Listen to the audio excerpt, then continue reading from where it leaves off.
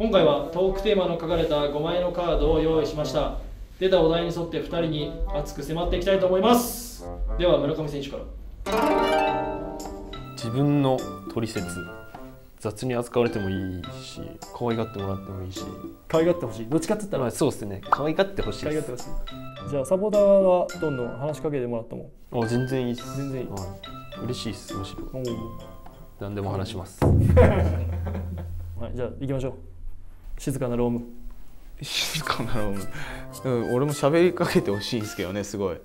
喋りかけてほしいし全然あのいじられたい。いじられたいって言ったらちょっと 気持ち悪いけど。い全然いじられキャラでずっとやってきたんで。はい。でも田向選手はいじりたい。たまあ田野君いじってみたくはある。興味あるっす どうぞ。まるまるが得意あ心理戦とか得意かもしれない。結心理戦？構ババ抜きとか得意です。ババ抜きあのカードゲーム系とか。あカードゲームとかう。ん結構得意です。いつでもスタジオ呼んでもらえばそういう企画があれば。心理戦で？心理戦企画があれば。企画があれば。はい。俺は料理っす。ね嘘だマジですマジなんですよ。本当に？こそんな引き出し持ってんの？本当に？これマジっす。何作るの何でもいけるっす。えそうなの？得意料理は？ハンバーグっす。あー思ったよりベタなの来たね。何でもでもいけるっすよ俺。一番難しいのね。自分一番これちょっと難しかったけど。一番難しいの。料理は僕はあんま分かんないいやでも俺も最近作ってないんですけどね。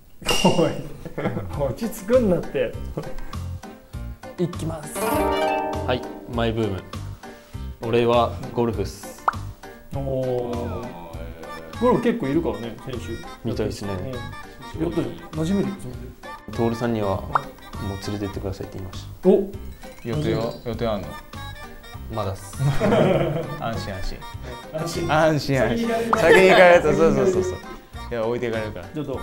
でもマジでベタっすけど地面師マジおもろかったです。ああ 本当に。ね。いやマジで超おもろいです。そうなんだはい。ハリソンってやつがいるんですけどこいつがもう心理戦プロみたいなやつなんですよ。勝てる勝てるまあババ抜きやったらワンチャン勝てるかもしれないワンチャンハリソンにもいい勝負はつく。ここを見てほしい。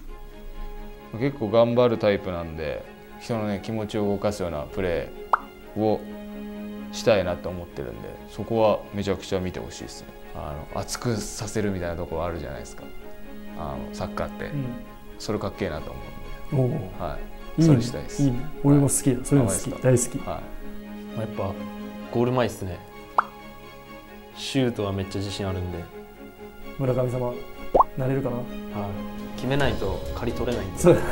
そうやな。確かに。今年中にはな。はい、行きたいですね。バンバン。じゃあ最後いきます。サッカー選手じゃなかったら。ワンチャン水泳ずっとやってたかもしれないです。楽しかったんで。お続けてたらワンチャンあったかな。運動能力あったらね。じゃあサッカー選手なかったらじゃあお願いします。えー、でもえー幼稚園の頃は K1 選手になりたくてめっちゃ流行ってたんですよ。ボブサップとか。ボブサップの目覚ましとかで起きてたし。マジで。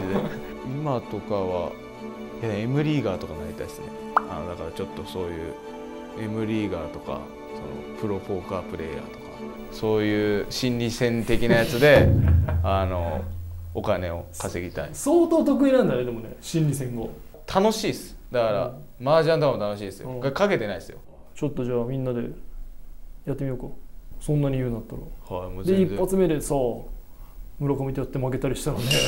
まあまあ相当振りは効いてますからね。今今相当振りは効かしてるんで。はい